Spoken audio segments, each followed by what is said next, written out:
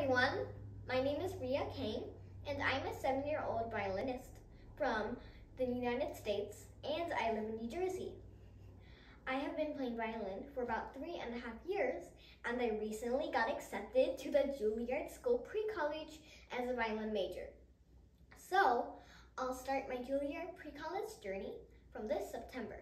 I am so, so very excited.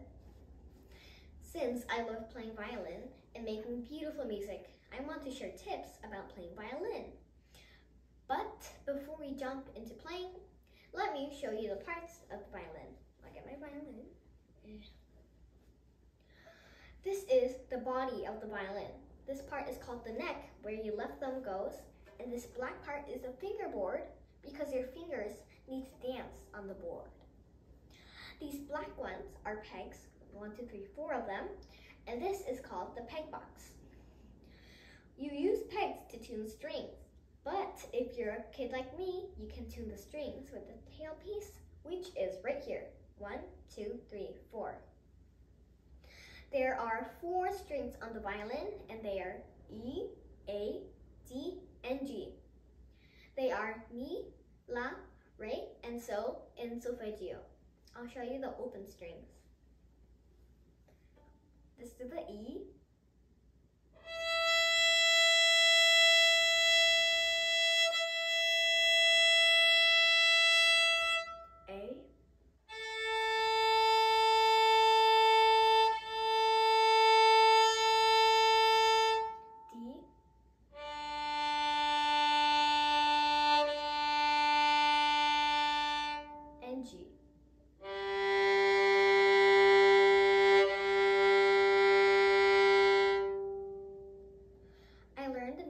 strings by singing the ant song.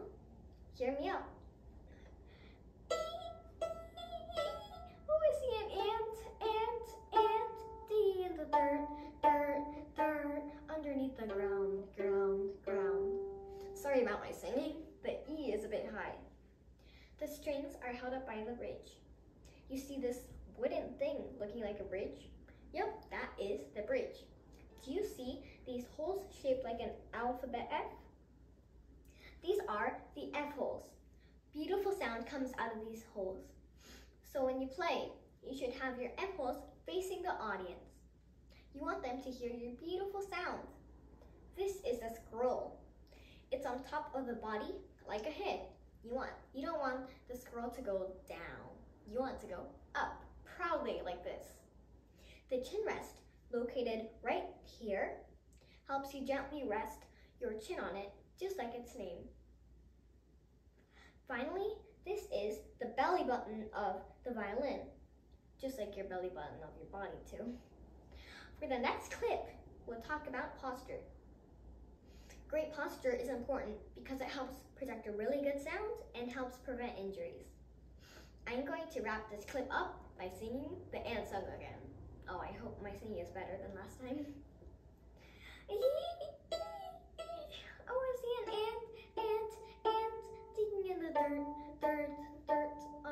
ground, ground, ground. Bye. Thanks for watching. Don't forget to subscribe. I'll be back in Shall We Violin Tip 2. See ya!